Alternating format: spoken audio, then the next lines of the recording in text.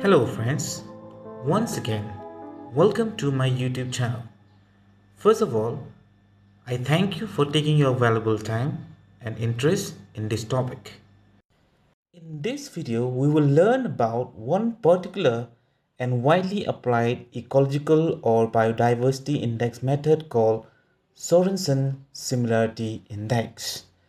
So to begin with, this index method was developed by T. Sorensen in the year 1948. When you review any related literature on this index method, you will observe that most of the time you'll find that Sorensen Similarity Index is simply or popularly referred to as just in short either as a similarity index or Sorensen index.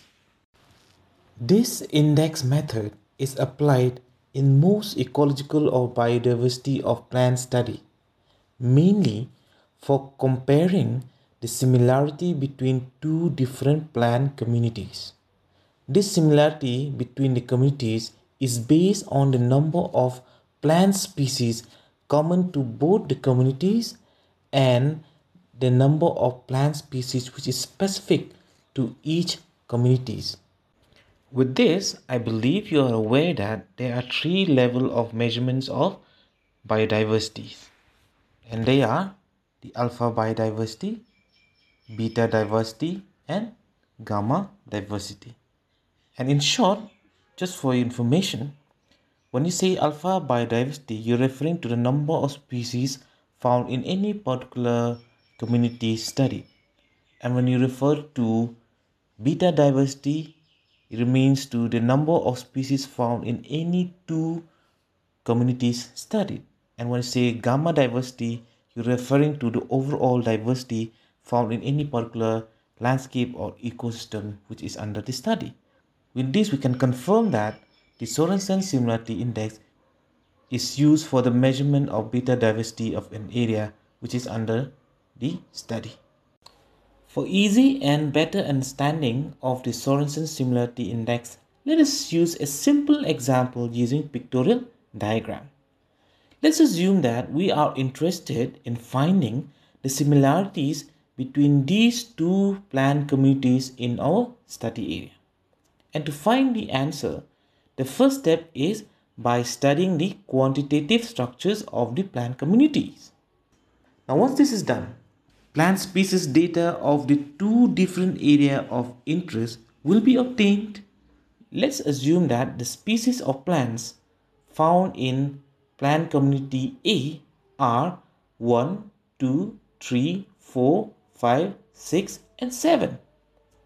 And the species of plants found in plant community B are 3, 4, 5, 6, 7, 8 and 9. Based on these data collected in our hypothetical study, we found that the number of species present in plant community A is 7 and the number of plant species found in plant community B is also 7. Whereas the number of species common to both the community studied is 5 and they are 3, 4, 5, 6 and 7. After availing these data, that is the data on the number of species present in plant community A and plant community B and also the number of species common to both the communities.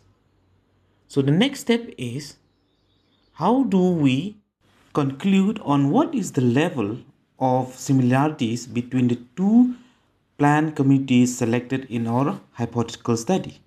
And the answer to, to this question is by using or applying Sorensen Similarity Index formula. Now let's move on to the next part that is the formula of Sorensen Similarity Index.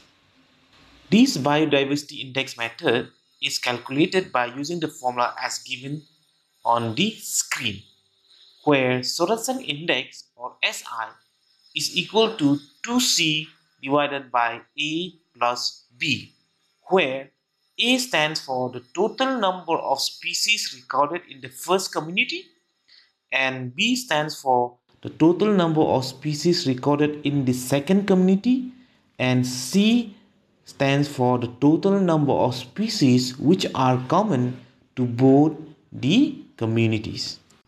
So this is the Sorensen Similarity Index formula. After calculation we carried out, the final value obtained will fall in the range of 0 to 1.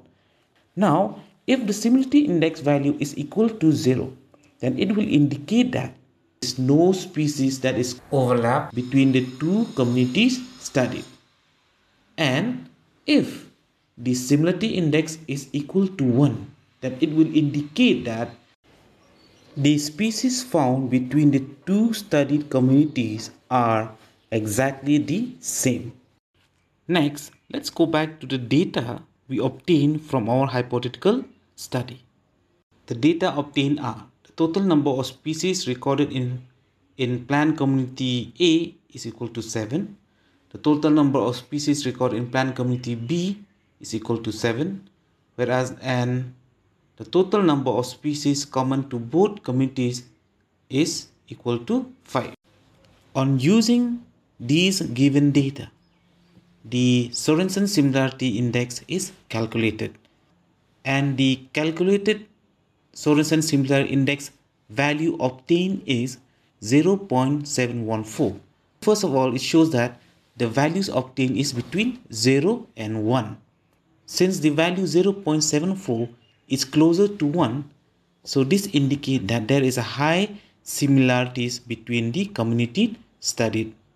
The very same Sorensen similar index is sometimes found in literature that it has been expressed as Sorensen coefficient. For information, the formula of Sorensen coefficient is exactly the same as that of the original, but it is just been further expressed into percentage, where the formula of Sorensen coefficient is 2c divided by a plus b multiplied by 100. Similarly, the final value obtained after calculation is referred to as the Sorensen coefficient values and it values ranges between 0 and 100. And if the SI coefficient value is closer or equal to 100, it will indicate that the species found between the two studied communities are exactly the same. And if the SI coefficient value is equal to 0, it indicates that the community studies are dissimilar in nature. Similarly, if we calculate the Sorensen coefficients of our hypothetical data, then the Sorensen coefficient value obtained will be 71.42%, which indicate that the two different plant communities found in our studies are 71.42% similar with one another. And with this, we have come to an end about the discussion on Sorensen Similarity Index.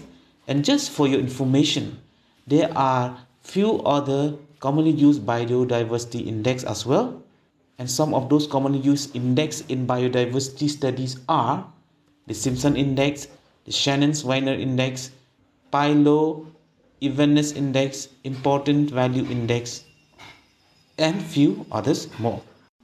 On that note, we now have come to the end of this video. I believe this video will guide and help those who need help in understanding about this particular biodiversity index. If you find this video helpful, please kindly like, share and subscribe to my channel. With this, I wish you a happy and simplified learning. Once again, thank you so much and God blessed.